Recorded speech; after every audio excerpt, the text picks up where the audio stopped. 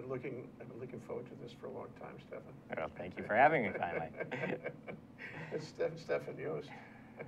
He's the director of the, uh, of the um, uh, Honolulu Academy of Art, now the Honolulu Art Museum. Honolulu Museum of Art. Museum of Art, okay. I can want tell you get that that- right, because it changed recently. Well, actually, we went back to the original name. I see. Yeah. Well, tell us the history of it. So um, Anna Rice Cooke incorporated it in the early 1920s as the Honolulu Museum of Art. And then uh, in 1927, the year it opened, she decided to call it the Honolulu Academy of Arts. And so about four years ago, we rebranded ourselves back to the Honolulu Museum of Art. But I should let you know, um, we didn't legally change our name. It's still the Honolulu Academy of the Arts. DBA. And doing business as. And I'm fine if people call us the Academy. That's Yeah, fine. But yeah, yeah. let's call us the Honolulu Museum of Art today, though. Why, why did you, why did you go back? Uh, it's pretty simple. Um, the top of response to uh, the name the Honolulu Academy of Arts for first-time visitors to Hawaii was, I've never been to an art school on vacation. It's very simple. You, you, you have an extra hurdle to communicate with first-time visitors because um, they think you're in art school and they have no idea why you're asking them to go to an art school on vacation. It's pretty simple. I'm, I'm really sorry to hear that, but okay. Yeah, no, I mean, there's no reason why you'd think the Honolulu Academy was a museum, Yeah. right? Um, unless you're from here or spent a lot of time here. So uh, we changed it, and that said, if, if people use Academy, I'm, I'm fine It's with that. okay. Yeah, whatever. Yeah, There are those and there are those. yeah, yeah. yeah. But now you have several little, you know, you have a lot of things, so I wanted to spend a minute and just Sure. articulate what, so you have the academy itself, may I call it that? Sure. The academy itself. Um, And then you have to the right, uh, that'd be on the Diamond Head side, Yeah. this wonderful old building, Yeah. it's like around 1870 or something.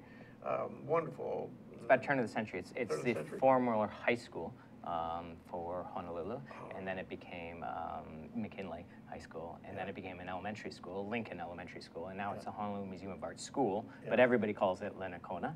And then we right, have the door- Lincoln, yeah. Yeah, exactly, in Hawaiian. So it was an English standard language school, and so people Yeah. call it Great, just to great. change it back.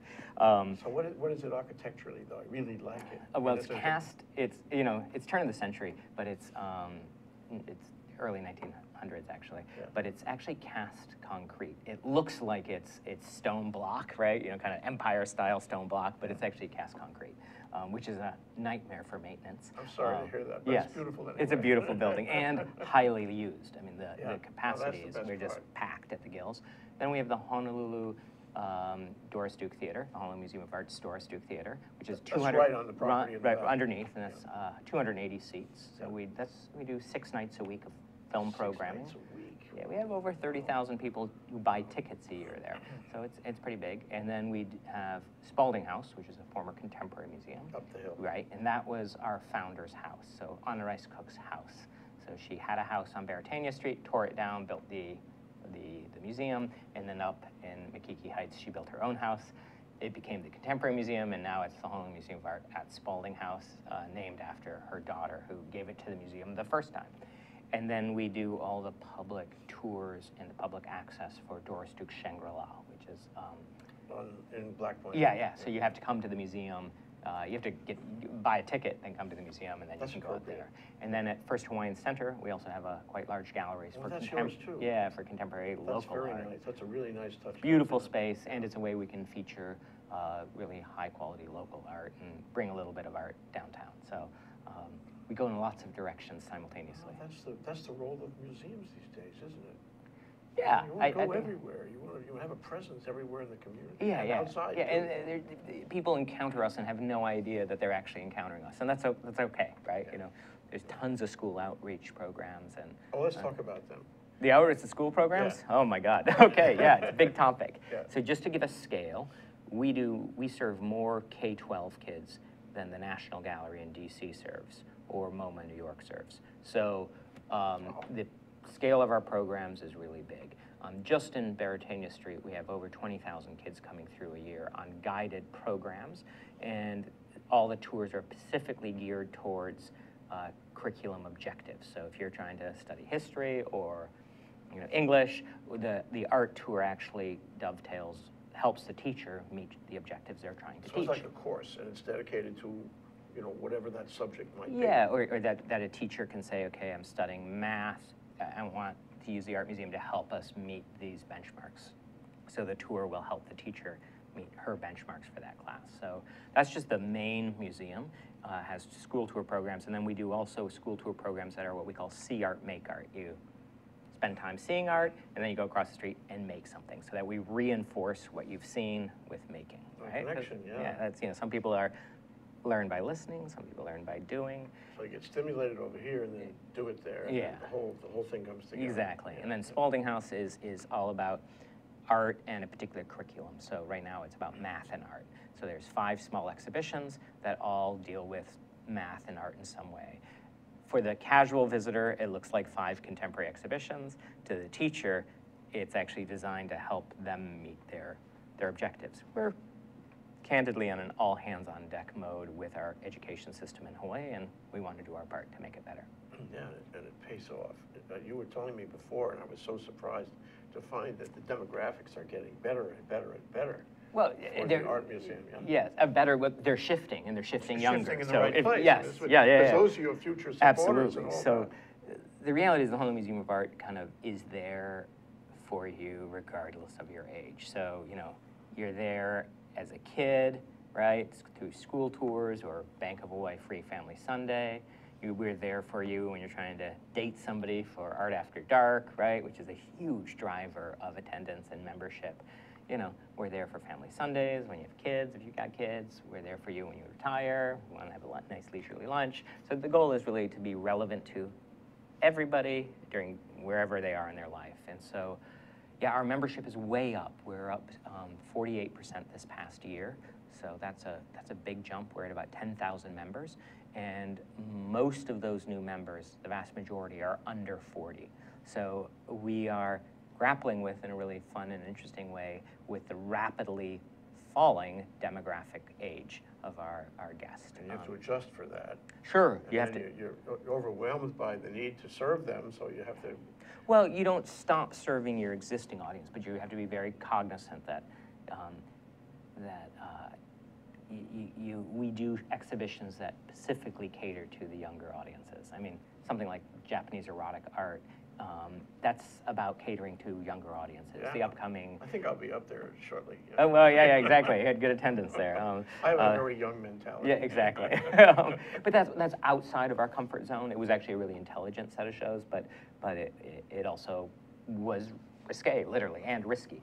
Um, we currently have the Shangri-La exhibition, which is Islamic art. That kind of caters more to our existing historic crowd. So we, Serving all constituencies. my hope is that you come and you see something you love and something that kind of um, you bothers remember, you. yeah. you know, there might be something that makes So you uncomfortable. how should too. I appreciate art appreciation? In other words, put me in uh, the doorway.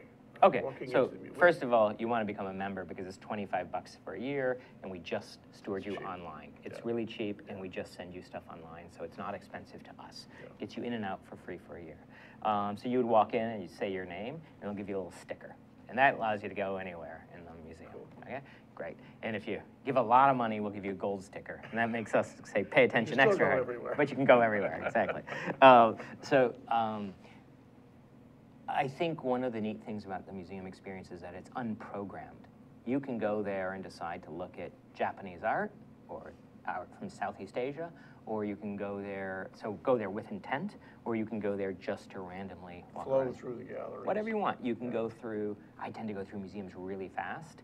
Um, but once in a while, I want to go to a museum really slow, like just zoom in on a room. And we basically tell the story of art, 3,000, 5,000 years, right, of the history of art, um, with excellent examples from all around the world. It's kind of a, it's kind of an amazing kind of choices you have. Um, and if you want to be really intellectual, that's fine. But if you want to go there and chat with your friend um, and not look at a single thing, that's fine too. Social experience.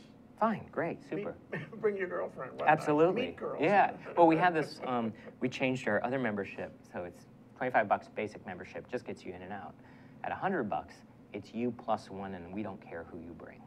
That's Right. So if you want to bring a girlfriend, whatever, fine, great. Um, Oh, a different girlfriend every time, if I, that's what you want. I don't care, right? You can do whatever you want. it. That's your your call. You want to bring your mom one week, your girlfriend the next week, your mistress idea. after that, fine. Yeah. Um, and uh, then we just went free for anybody under 18. So we're free for kids anytime they can get in for free.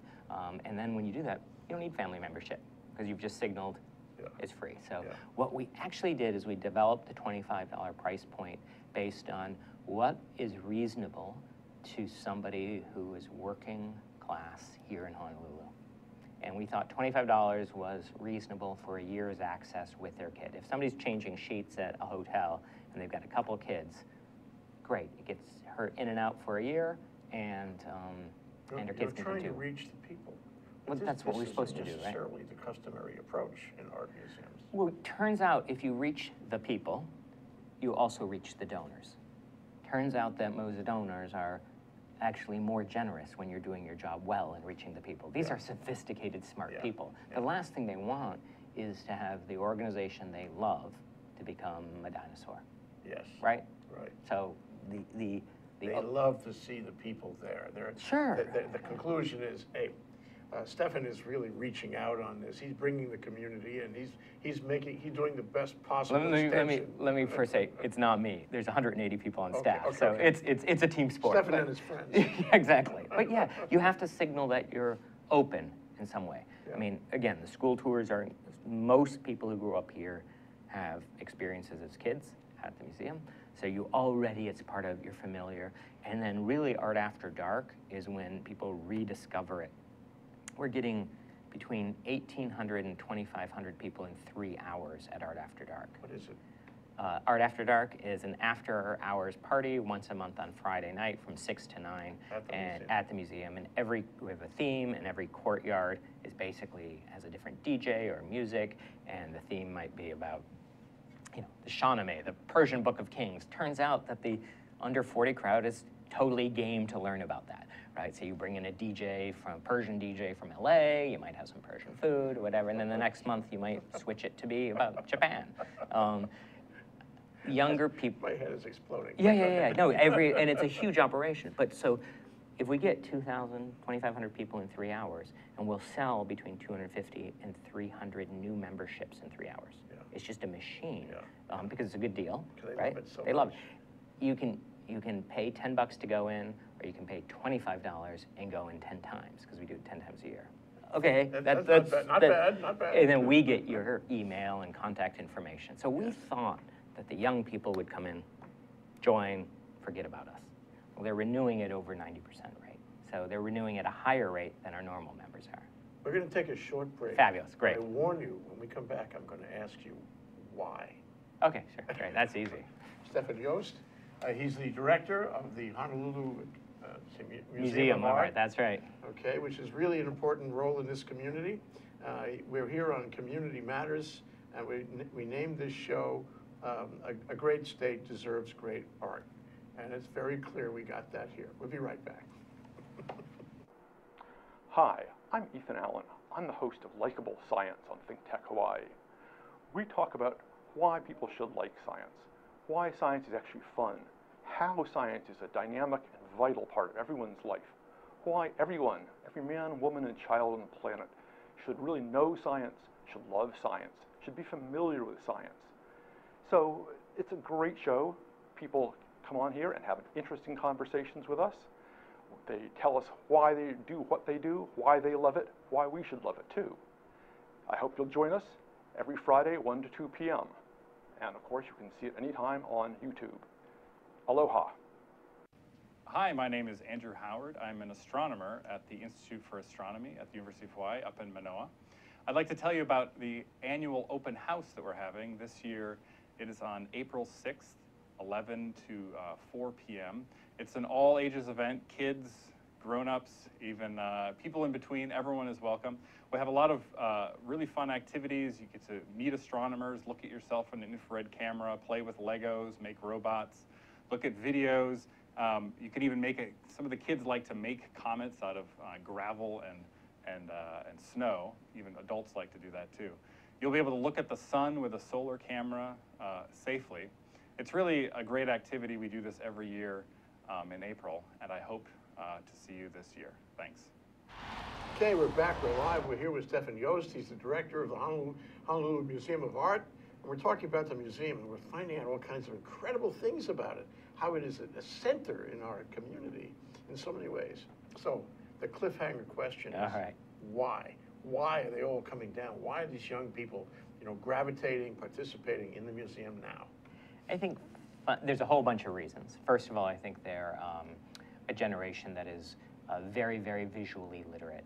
They're, the internet, visual imagery is just naturally part of who they are and how they think. That's the first thing. I think they're also kind of what I call the Wikipedia generation, right? They love information. They're very kind of promiscuous in their information. They jump from one thing to another thing. They'll get deeply passionate about something. Historically, our audiences are okay. These people like Asian art, or these people like contemporary art, or these people like art from Hawaii. I don't see any of that. I see people at that generation being interested in good art, right? They, they don't, they're, they're very just curious. But the other thing is that inherent in that is that art has become global. Absolutely. More, more than, more than we ever imagined 20, 30 years ago. Yes, but I would- Everywhere, it's everything. But I would argue that art has been global for a long, long time, right? I mean, it's just, look, the Impressionists were looking at Japanese prints. I mean, course, you of know, course, the intersection between Indian art and Alexander the Great is well documented, right? It's, it's, it's, yeah. Yeah, I mean, this is not new. It's, the speed is picking up, certainly. The speed is picking up a lot. Um, the other thing is we're trying to um, meet the younger generation on their terms. So the first position I added when I joined the museum four years ago was somebody to full-time do social media. Their job is to Facebook, Twitter, Instagram, eight hours a day to engage our, you know, 25,000 Facebook followers. That's that's a lot. That's Yeah, two and a half that's times your great. membership. Yeah, so yeah. yeah, you gotta. That's that's important. And it means a lot these days. You don't even realize how much it means. Well, you, Oh, I do, absolutely, I do. We, Okay. we placed a bet and it, it pays off a hundredfold. I mean, it, it, the social media thing is real. It's, it's how I communicate with my mom. I mean, it's, it's I don't call her anymore, we Facebook, right? So, um, and that's just, uh, so, and what's interesting is we're seeing a lot of our older audiences embrace social media too. Facebook is actually a, an older generation's social media. then Twitter. Yes, yeah, and Instagram, yeah. That's our Twitter feed over there. There we If go. anybody wants to talk to us, they can send us a message. Oh, I see. I got it. Think Tech High, H-I. Okay, there we go. Right. It's, but it's, it's real. We had a great um, test of it. We had, um, and I won't say which one it was, we had a, a year ago or so an artist come in to give a lecture. And we had missed it internally. We forgot to put it on the calendar. So artist is coming in, but we forgot to put it in the newsletter. We forgot to do press release. We just, right, because we've got so many events. We got, you know, every event, every day there's multiple events going on. Sometimes one thing's going to drip, drop. We realized three days ahead of time that we hadn't told anybody that this big artist is coming out. in, right? So it was the first real test of our social media, and we had 270 people for 280 seats in the theater, so it was full. So it was the first kind of time we were able to kind of do, flex our muscles and say, Yeah, yeah, is yeah, this yeah. is this just our our wishful thinking, or can we actually motivate these people? And turns out we can. Yeah, yeah. So great. happened, what, how did you do it? Uh, well, it's this. Uh, it's um, there's a whole bunch of ways you can use social media, and so you got to make sure that you know Instagram. It's all about the image. The image is key. You can write lots of text. It doesn't matter. It's a quick humor, self-deprecating. You know, all those things are good, and of course, it all works about sharing, right? So you have something. We have a program that we like. You pay attention to it, but you have to share it with your people. Otherwise, you're you're, you're, you're it's limited. So, Yeah. and that's where kind of the skill of our communications team is there. Um, how do they make sure that? And I was going to ask you, uh, you know, in fact, I had lunch with my, my partner today before coming over, and uh, I told him you're going to be on the show. He says, yeah, but what does the art museum have to do with technology? Because he sees this thing tech, right? Oh, oh, yeah, yeah. Oh, well, And I told him, you'll see. yes. There's a lot to do Where do we start, Yeah, right? right, I mean, right. there's, well, y- yes, there's this global side. Um, of course, I believe that film is great art, right? So I think the mission of the Doris Duke Theater, and they show films six nights a week, right? That's just about us showing great art in the same way we show great paintings, Sure, right? like on the wall, same Yeah, thing. we do video art, we do, you know, all sorts of stuff. We've had Photographs. Photo, yeah, but that's like 19th century technology. We're talking, right? Sorry, You know, said that. one of our current This shows, which is interesting, Education is the Spotlight. Shahnameh show, My right? show So this is the here Persian i- Book at of Kings. Think Tech Hawaii is Uh, Hamid Rahmanian is the designer. So he takes old illuminated manuscripts from the whole Islamic world, whether they're Turkish or, you know, Indian, Mughal, or Persian or whatever. material out there. Scans them, Yeah. then collages them, so you can have a mix, and he's telling this epic story. And the show is actually digital files that we printed out, right? So the originals, well, what's the original? It's a digital file. We print it out, we stick it on the wall at the end of the show, we throw it away, right? That's a really different way of looking at art. It's not about this object, it's about the digital file behind that object, Yeah. right?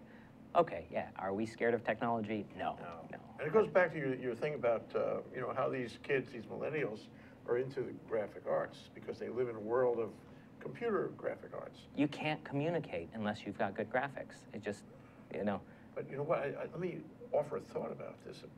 Part of the, the miracle of the computer is that not only can you see it, you can do it. You can, you know, every, every person around can actually create art. Some do, some don't. but with a pencil and paper, you can do the same thing, right? That's I mean, true, that's sorry, true. but yes. Back But, to Linekona. yeah, exactly. Well, they're all linked together, right? But yeah, there, when you do, technology allows people, things that were very difficult are actually quite easy now, right? Um, that said, is to do it well is really hard. To do it really well. So cell phone photography, you know, everybody and their cousin has a cell phone with a camera. Very few are doing, are creating great images. When I was in college studying required course art history, Mhm. at seven in the morning, it was really hard to stay up. Yeah. In the darkened room. Where was this at? Queens College. Okay, yeah. City University. Um, You know, that was the question. How can you tell it's good? You say good art. How do I know? Well, What- first, first of all, it's got to be in comparison, right? You, you've got to, you've got to have more than one, right? So you know, oh, well, this is a really, this is a- match it against the other. Yeah, one, right. Everything's about comparison. You have no idea that something sounds good unless you've heard it something else, right? So, Okay. so the first thing is we, we, we, we, I think humans are very pretty aware of good, better, best. We may, are making choices all the time, right? Choosing one over the other. Neiman Marcus is predicated on people understanding the difference between good, better, and best, right? Right. Everything's Okay. about that, right? Sure. So w- whether it's a car we select, I, you know, most people would say a, you know, Tesla is preferable to a, to a, whatever. uh, Whatever. uh, yeah, got it. Name it, right? yeah. Yeah, that's not. And then we get to art, and people are like, "How do you know?" How do you know? Exactly, right? One of the things I look at is who are the artists or the cultures that are framing questions, right? So there are lots of 19th century French artists, right? But the Impressionists changed how we see the modern world, and that's why we know them. There are lots of 17th century Dutch artists like Rembrandt or Vermeer, right? We know them. Vermeer is my favorite. Okay, I bet you can't name a single 18th century Dutch artist. Not offhand. No, but I bet you could actually name three or four 17th century Dutch artists. You're given enough time. Yeah, uh, Rembrandt, Frans Hals, Vermeer. Okay, got it, right? Check, check, check. But so, so there are periods where great things are happening, and then there's things, periods where, So. It's familiarity. It's, the, Yeah, it's known by the community, the world. Sure, but it's Or the also art the artists who are innovative. It's not just about doing it well. It's who helps us see the world differently. like the Impressionists, Yeah. giving us a new look at things. Yeah, Andy Warhol. Like him or hate him, the reality is he showed us to be a consumer society. And he celebrated that, true. which is 100% true, right? The reason people relate to Andy Warhol, why he's had extraordinarily staying power, it's about consumer society and celebrity. Those are two things, you can like it or hate it, but he pointed out what has become totally obvious to us, that other people hadn't seen. Right. Yeah, right. So it's the lesson of it. He gave us a lesson.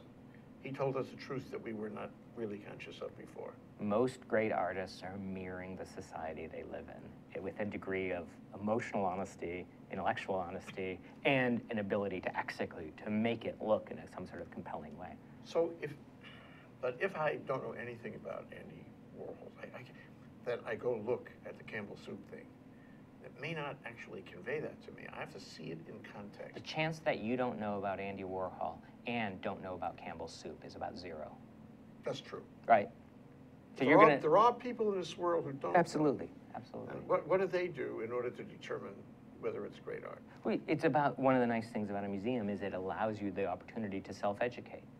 People walk in and are totally baffled by things. And look, there's a label. There are fabulous docents. You have a question, we can answer it for you. You know, our docent team now is set up to meet the audience where they're at. So we used to say, okay, there's a tour at 11 o'clock for an hour about Asian art. Now we say, what do you want to see and for how long do you want to see it? You can do 10 minutes on Japanese art. You can do three hours on Japanese art. Our staff is trained, our docents are trained at a level that we're flexible. You create the menu, we fill it, right? And, and they're there around you, and you There- can There's call at least them five. you are. walk in and there's at least five ready to serve you. And if you want to be ignored, that's fine too. I love it. And, and what, you know, what the, the thread I'm getting in this discussion is something we talked about at the break. It's creativity. Uh, Mhm. You know, the, the museum is an expression of creativity, not only in the art, but in the way it operates. Sure, it should be. does, I mean- it reaches people. Yes, I mean, the, on the most basic level, we're about three things. About great art, okay, got it, from lots of different time periods. We're about effective education programs, right? Yes. Are we actually conveying information and experiences that are meaningful to our public, right? And the third is a commitment to access. Can you get in? Like, you can do both those things well, but if nobody's coming, it doesn't matter, right? If you can have great access and great education programs, but if you don't have great art, you're probably gonna fall on your Yeah, face. yeah. So it's those, getting those three things in a line to move it forward, it's, it's not that complicated.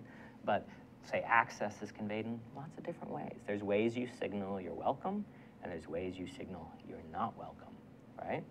And so you just have to be very self-conscious about that and very deliberate about how you, how you welcome people. Ikomomai. There we go, It's yeah. a- really a study in that, isn't it? Because you want them to come in, Yes, Ikomomai, and see my house, see my things. It's like, it's like an art collector. Come in, yeah, take a look. yeah, Let come me on. This is, we are an institution for them, we serve are. the public, right? It's not about us. It's on a larger scale than a single art collector, but it's the Yeah, same no, idea. it's 65,000 works of art. It's, it's a huge collection. That's what I'm going to talk about after the break. I Great. want to talk about the collection. I recall there was a lot of, what, Chinese art to start? Somebody gave you a huge, right? Let's have the conversation. Yeah, We're gonna- we're gonna- we're gonna find out what they got in the basement. A lot. And it rotates. A lot. But Stephan Jost, he's the uh, director of the Honolulu uh, Museum of Art, uh, a great institution in our society. We'll be right back after this break.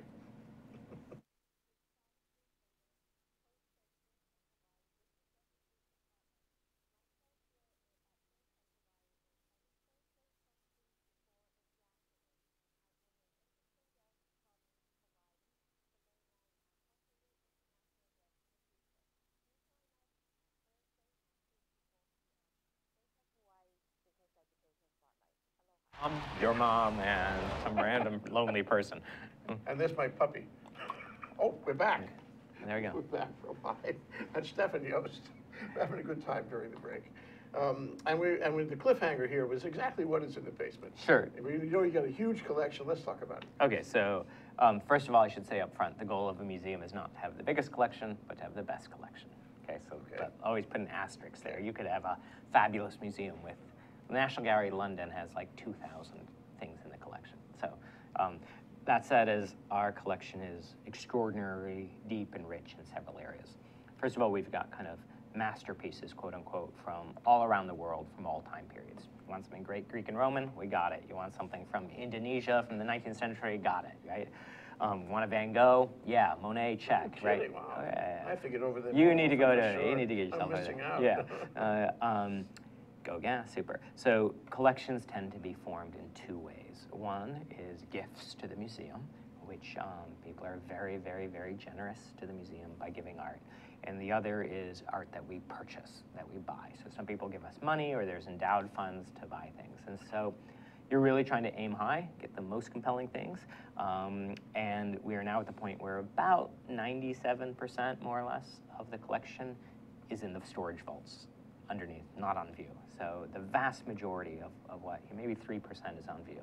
Um, it should give you a sense of the scale. And, and, yeah, I want to talk about how you rotate that. But Yeah. before we do, um, so you have various cultures Yeah. from various collections, and people come to you and say, "I'd like to give you this art." Yeah. And you say, "Well, that, we like that art because that's excellent art. We Yeah. want that art. We're you know happy to take that art."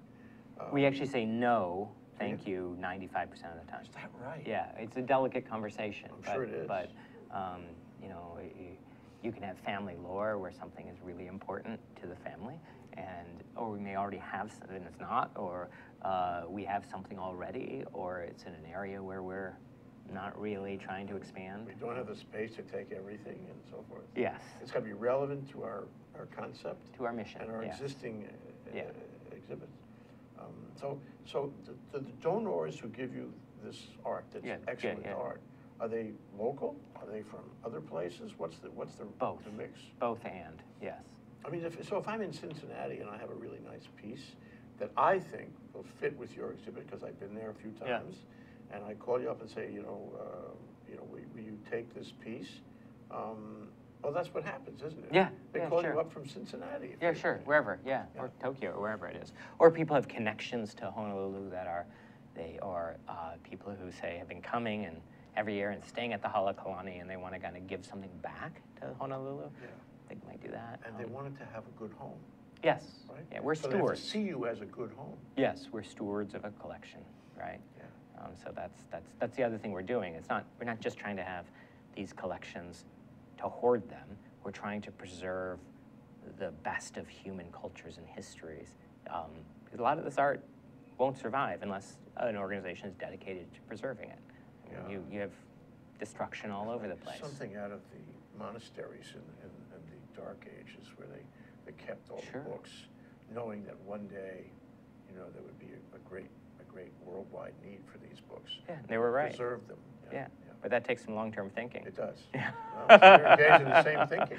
Yeah. Okay. Now, the second possibility you mentioned was where you go buy. Yeah, sure. And So, and uh, that means cash money. uh, Mhm. And probably you get this money, do you get this money out of a, out of a till you already have? Or do you say, I want that art in Cincinnati, I want to buy that? um, Or, or Asia or Paris or wherever it is. I want to buy that and, and uh, you go to a, um, a donor and say, you know, can you help me buy, can you help the museum buy this art in Cincinnati? We have one piece in mind. Can you Sure. help? Yes work? and yes. So there are endowed funds, and most of those endowed funds are, are specific to a certain area. By American decorative arts, by Japanese works on paper, whatever. So we have certain amounts of money we have to spend like that. Um, and then the other is uh, we have money, uh, a work that we want to buy. And then the other thing is, is we sell artwork to buy other artwork. So, for example, if we have a Japanese print in our collection, it's good. And you come in and you give us a Japanese print, same subject, same artist, but it's great. We'll take the less good one and sell it because again, our, our job isn't to. Don't you like to specialize, like, like, like in poker, you know? Oh, you want- a- a mean- Straight flush? Yeah, yeah. know? But sometimes you want to go, you want similar things to make a point. Other times it just, it doesn't make sense, actually. It's a Um, judgment call. Absolutely, Based but- on, based on, not these pieces necessarily, but the world of art around you. Sure, yeah, yeah. And so we'll, uh, so for example, we recently had two paintings by the same artist from the same period. And we sold one to buy another work by that artist from a different period, right? So you can say, oh, here's an early work by this guy, here's a later work by this guy. Which you didn't have, so Yeah. therefore you're enriching the collection Sure, by uh, having the. you're brought, you're, you're, you're, um, the rule is though, you can only sell art to buy art. You can't sell a work of art to pay a salary or utility bills or whatever. So it's earmarked. It's earmarked. If I get X dollars on the art I'm selling, then I take that same X dollars. And you have to buy apply it to buy something else, yeah. So maybe So each transaction has a second transaction. well, or, or you can sell ten things to buy one thing. Yeah. Yeah, Yeah. yeah. But yes, we're always That's buying. so interesting. It's like Yeah. a, it's like a commercial activity which isn't commercial. No, you know? it's because it doesn't, you know, yeah, exactly.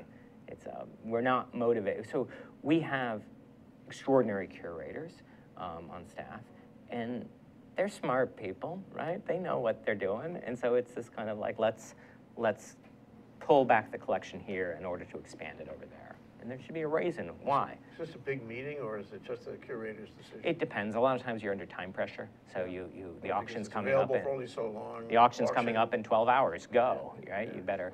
And can you go electronically? You have to get on a plane. No, go electronically. There's certain things um, you want to, certain, certain things you really need to see in person. Um, certain things I Before you actually make the bid. Oh, You yeah. You want to see that it's what you think it is. Yes, and there's other things where it's not that big of a deal. You don't have to go see it. So it depends on what This it is. is really exciting. How do I get to be a curator?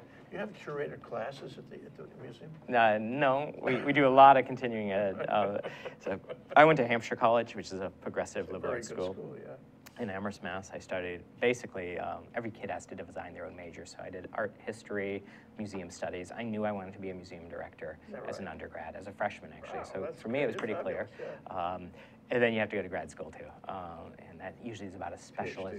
Uh, I don't have a PhD. I just have a master's, but mass majority of people have PhDs in my Yeah. position, and it's about specializing. And um, and then of of course um, uh, you have to work through the museum world, and it's incredibly competitive. There's very very few jobs. Yeah, it must be. So that if you, yeah, you have to work through it, and that means going from one museum to another, Mhm. right? It's a step ladder, just like the opera, directors of the, or, or all performing Yeah, arts sure. like that too. Yeah, Move around the country. uh, you get a set of experiences, and soon you can You make learn each time. Yeah, and you can make, you, it, uh, every move I've made, uh, I've learned just extraordinary things and that I've been able to apply to the next place, so. Yeah, so you, you bring your own perception of all this, and you incorporate that in the mission of the museum. Sure. So you put it together, so you, it's a, it's sort of, uh, it grows with, with what you, what you contribute to it. Yeah, and of course you have to be nimble and flexible and adjust your thinking based on where you you sleep at night? This is fabulous. It's good, Right, it's a you know? huge amount of work, right? The thing, other thing you have to think about is the amount of fundraising I have to do. It's a huge part of, Yeah. huge part of my, We do that here, but it's not the same scale. yeah, yeah, it's true. Um, so, again, we have hundred and eighty people, we gotta pay every Yeah, two yeah. weeks on payroll, Major. so. So you're finding good support in the community? Yeah. Are you, are you finding, uh, you know, like, you're talking about the kids coming in, you're finding the older and well-heeled contributors coming in? Absolutely. Yeah, no, we, we have, um, we have a really great board.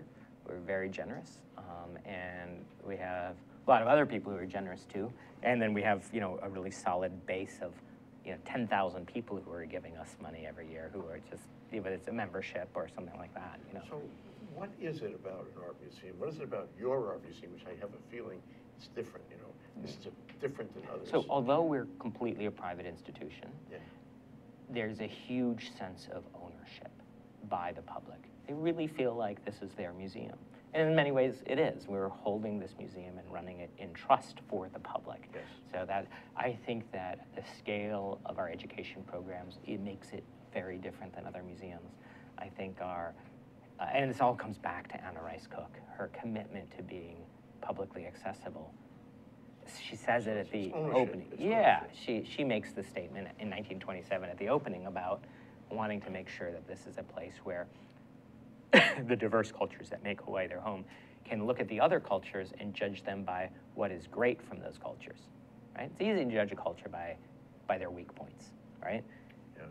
So when she set it up, the collection she gave to initiate it was what, Chinese? No, encyclopedic. So she gave us, she, I mean, it- from Chinese, the, probably the best things were Asian, but there's many things that were Western and local as well. So she set up a really, a pretty big encyclopedic museum from And the it was excellent. Yeah, I mean, she bought, I mean, the, the, the Gauguin we have is fantastic. And, and, and that was modern art at the time when she buys it. So Yeah. she buys that in the early 30s. Oh, It's yeah. two nudes and a dog on a beach. That's pretty out there for 1930, right? Um, so, so we actually have a history of collecting contemporary things. We forget that because we like to sometimes think of us as ourselves conservative, but actually we're not. We're not. So, um, yeah, so it's a. So let's talk about the, uh, you know, the movies for a minute, because I'm into movies, of Okay. course, you know. Um, We talked at the, before the show began, about the, uh, the, um, the Descendants. Oh, yeah. And how it was a great piece of Hawaiiana. Uh, and that, um, you know, however, it was made in Hollywood, it was made by Hollywood. Sure. We happen to be the venue for the movie, but not necessarily the, Well, the author's from here. Say? The author is from here. Yeah, Or- the author I- was from yeah. here, some of the actors were Yeah. from here, and, and, you know, in large part it was great, connected. Uh, they got the neighborhood wrong, I know that, because I live in the neighborhood, one of the neighborhoods they were shooting, but that's yeah, okay, small yeah, stuff. yeah. You know, you see that on five-oh all Yeah, the time. yeah, sure. But there's another ten thousand stories out there. Sure. And so we have the film school, uh, we have all these youth organizations that are making video, I can think of three of them offhand. Yep. Uh, some of them are playing regularly on, on the cable. Um, and we have the museum, which is a Sure. sort of a distribution source for, for video. Sure. So we, uh, film, yeah. So um, we have actually probably the last film projector on the island. We also Is have the right? digital, we have the DCP, we have the high tech, we have the high tech one too. But um, uh, so every month there's a film festival, which is basically anywhere from one to four weeks. So whether you know, so you can see the Filipino Film Festival just ended, right? The Jewish Film Festival was before that. The African American Film Festival was before that. Bollywood is really big. So every month there's a, a theme where we kind of go to that part of the world and bring in the best art and filmmaking that they're making in that so uh, area. So we do 12 of those a year, and then the second part of the month we we tend to show kind of the best independent movies that we can find. So it's actually been a pretty darn good process. Um, and you know, six nights a week of of kind of art house film programming is a lot. Um, and it, we, we bring in But you're filling the place. We're not filling it, no, but we're, we're, we're making money on it, yeah, Yeah, sure, okay, yeah, okay, okay. um, absolutely. So, and, and you, you know, you offer a, a place for distribution by local filmmakers. Yeah, you know? sure. This is really important. And, and the other thing, we, we just, um, my colleague Hathaway Jacobson, who used to work at Sundance Institute, brought in kind of the, what they call the short lab, which is, so these are the top people at Sundance who help young filmmakers make short movies. You gotta make a short movie before you make a long movie, right? And so we Some had, ways short movies are harder. yeah. You have to get to the point. Yeah, yeah, exactly. You got, but, but you learn a lot in that process. So we brought in their top people to meet with a couple hundred local people who want to make films. So it, in the same way that we try to inspire local sculptors or painters, we have a role in inspiring local filmmakers because film is just another art to us, right? It's just another art form.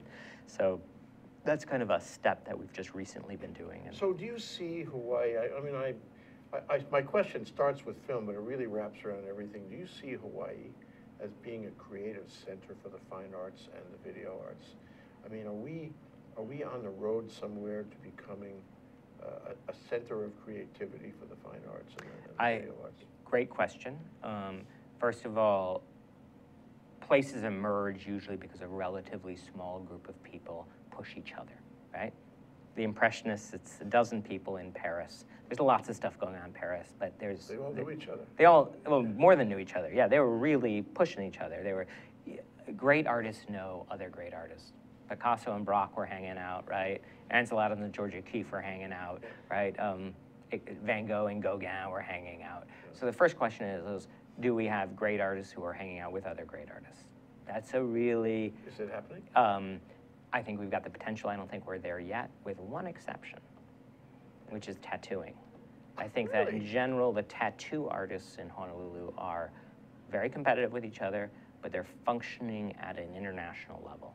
There are individual artists here in other medium who are doing well, who are really good, but the tattooing tends to be um, at kind of a world-class level, and they're You had- you had defining it. We did, we did, because why It's not? art. It's art. It's, it's right, right. It's good art. That's what we're, we're interested in Okay, good art, right? Yeah, so, okay. so that you know, how do we create a, a situation where artists are aspiring to be great? That's kind of important. And um, So we can do this. And these kids who are coming in, these millennials that you talk about, who are joining in droves, Oh, yeah. they could be not only appreciators, but Sure. creators. Well, here's the little, the devil in the detail. Usually, when something amazing happens culturally, the place which is hosting it doesn't know it at the time, right? It's not like people in Paris were going, oh, there's these amazing new avant-garde yeah, yeah, artists, there- right? yeah, they were yeah, going, sure. who the heck are these people, right? Right, so, right, right, so it's just one of those things where it could very well be going on right now, and we might not know it for a little bit, right? If, if anyone would know it, though, Stephan, you would know it. Or our curators, yeah, we'll, we'll get there, yeah. you're I- I- optimistic I think, anyway, so- Yeah, I am, I am. I do think there's some really extraordinary um, uh, people. and, Well, yeah. with a museum that acts as a center to bring everyone together, Yes, to have them, you know, create that special, the special synergy that you talked about in Paris. yeah, Um, we could go somewhere, and uh, it's just a matter of watching you. So if you don't mind, I'd like to do this on a regular basis. Sure, great. You Take tell me. stock, what's- Yeah. What's coming, what's going, Yeah. who's doing what, you know, yeah. it'd be great. That'd be great, pretty good. Stephan Jost, he's the director of the Honolulu Museum of Art, and we are so delighted to have him on the show. We want to do it again and again here on Community Matters. A great state, as you know, deserves great art. Where's this tattoo parlor again? Good one.